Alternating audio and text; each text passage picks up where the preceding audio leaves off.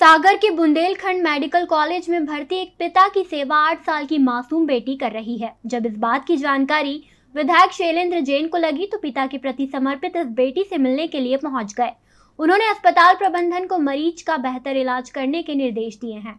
Bundelkhand medical college में भर्ती Ramkishan Rajak anaemia की बीमारी से पीड़ित हैं। आर्थिक स्थिति ठीक नहीं होने के साथ परिवार में भी उनकी देखभाल करने वाला कोई बड़ा सदस्य नहीं है।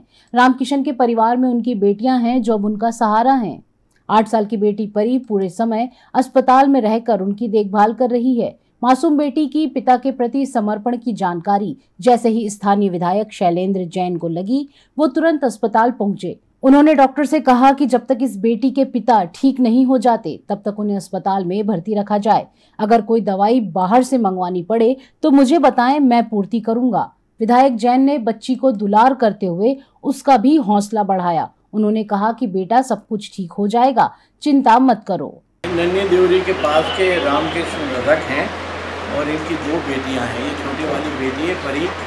इनके विषय में सोशल मीडिया और अन्य माध्यम से ज्ञात हुआ कि ये बिटिया जो है अपने पिता के इलाज के लिए यहाँ आई हुई है और इनके कहीं अन्य कोई संसाधन नहीं है।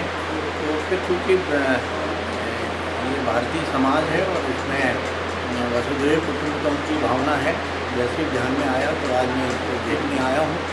और इसके जो भी इलाज संबंधी विषय हैं, उनके संबंध में डॉक्टर से बात हो गई है।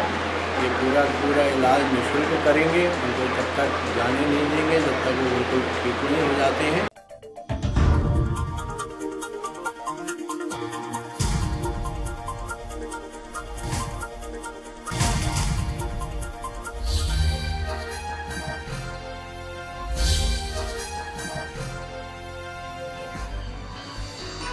आप देख रहे हैं दखल न्यूज़।